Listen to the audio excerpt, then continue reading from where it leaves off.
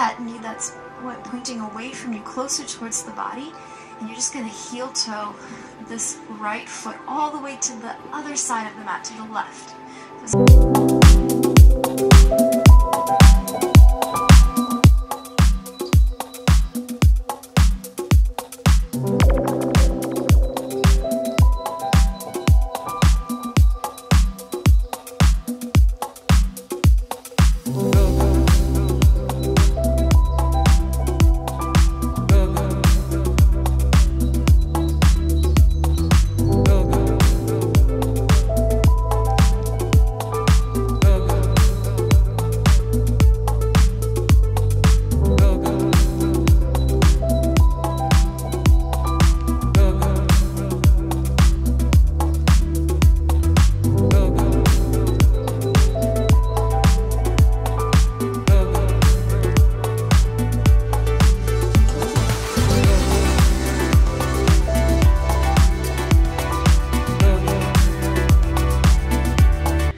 have done what I do too often on my days off where I have just kind of vegged out for a little bit too long. I'm gonna change robes because I'm just vibing with my other one. Uno momento. Okay, so anyways, um, I have just been kind of lazy today and that's okay. That's the other thing I have to tell myself is like, I seriously have some ADD going on in my life and it's okay to just freaking chill. Today I could have started with my podcast way earlier, but my brain would rather just watch YouTube and things like that because it's mindless and I can just focus on it for a long period of time and not focus on the things I need to do. So it like definitely is tricky. And the funny thing is the second I start my podcast, I really enjoy it. It's just getting my brain to do that that for some reason is a challenge for me. Some things that help me that I have learned is waking up and immediately getting ready. So like taking my shower and doing some kind of movement. So yoga, HIIT workout, something that's gonna really get you going. Also, I'm so on the fence now that my eyelashes are like actually going away. I know I'm gonna miss them.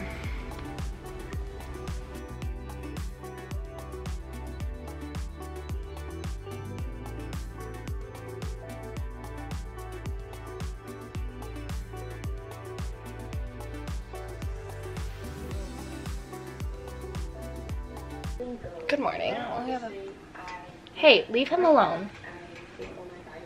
He's my little baby. We have a room full of animals right now. And uh, Hayes just got neutered yesterday. So he is under careful watch. But um, here. I'm watching a YouTube video, of course, because I really like to, you know, have that while I'm drinking my coffee and like getting I need to get a new uh, Joby. Mine's just like, my friends messed with it too much and now it doesn't work very well. But anyways, I love watching YouTube just while I get my day kind of started because it doesn't feel as like unproductive. that went down a weird pipe. I don't really know what to do on these vlogs yet and that's totally fine. But today I am gonna try to get a few things done before work. I need to finish up my stuff for my podcast. I just need to get it done. I'll feel so much better when I do. I need to record something for King really quick, my producer. And I need to, uh, I already did my meditation and my yoga, done and done, which is kind of nice. And I just got this book, You Were Born for This, that I want to start filling out, but I'm not sure if I want to do it this morning. I might do it right now while I'm just waking up and stuff. And also, I got my new skincare this morning, so I'm gonna show you guys that too. That's what I'm doing today. I'm gonna make some healthy lunch and then go to work. I work at 2.45 today. Gotta love having a day job. It's so fun. Just kidding. Um, but we're getting closer every day to making music our full-time job. And I'm learning a lot about myself and the choices I've made and why I'm where I am because I haven't put myself out there enough. that's why I'm vlogging because I need to actually not be scared to put myself out there. I fully recognize that I've done it to myself at this point, so cheers to that. This little tray I got for like $3 from Target. Iconic.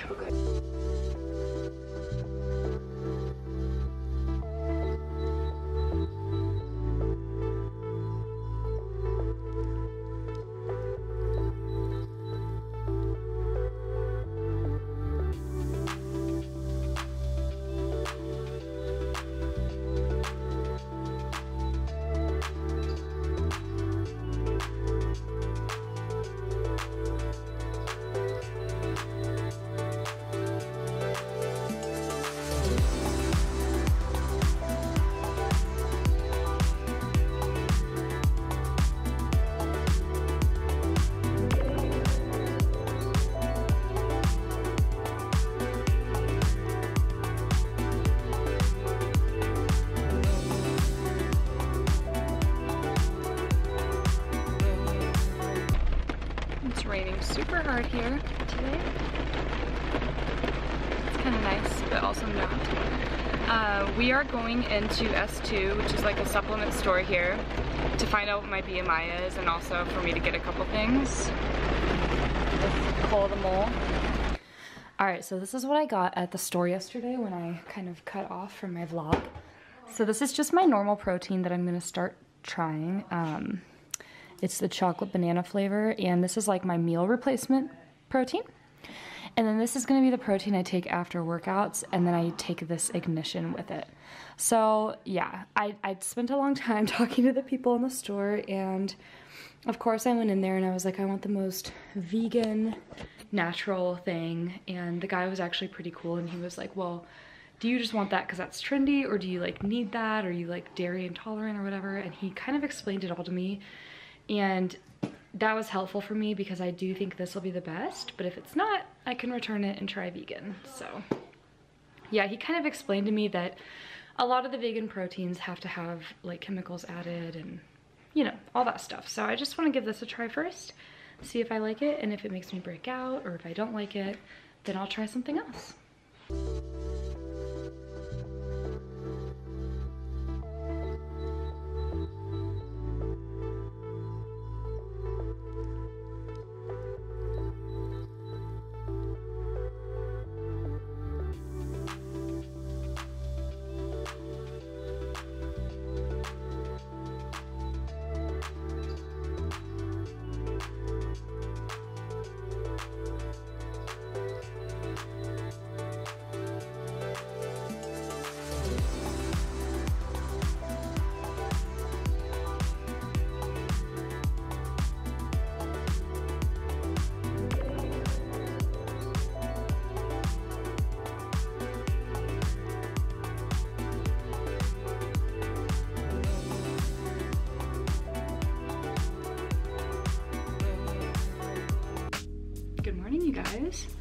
I have been working since I got home this morning. It's about 1 o'clock now. I probably got home around 9.30 or 10.